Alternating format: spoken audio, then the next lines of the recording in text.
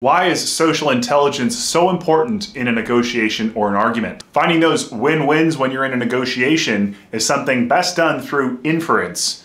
And that's something that you can find in social intelligence or SQ. What do I mean by inference? I mean you are going to understand the other party's position so well that you are going to be able to maneuver the negotiation or the argument to find a mutually beneficial outcome. You're going to propose it in a way to the other party that would make no sense for them to refuse. This will show a huge amount of social intelligence, which is something that's rarely found in an engineer or technical professional. Raising your SQ is something that effectively makes you an interpersonal psychologist because you're going to start understanding more about those around you and you're going to start being able to see how your larger technical organization operates and those people within your social network. Learning how to better have attunement with someone you just meet. So we're talking about having empathy over time, not just an instant of empathy, but attunement is having a deeper connection using empathy. Go look up videos of when Bill Clinton meets someone.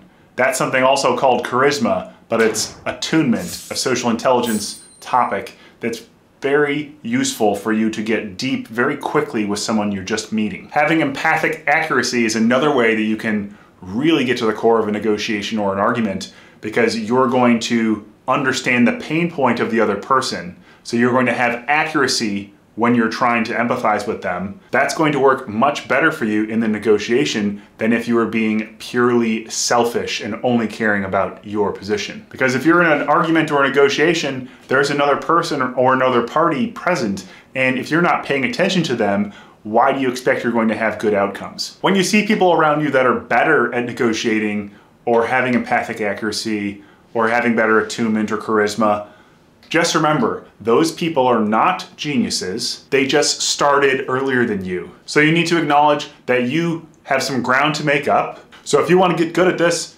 go put in the work and get good at it. It might seem that some people are just absolute geniuses at this, and there could be some innate talent there, but again, those people have just been practicing and started earlier. This really affects a lot of things where you see people that are masterful at things, where it's like, wow, that person is really good at that. I bet they've always been good at that. It actually is more likely that they put in 10,000 hours to be good at that thing.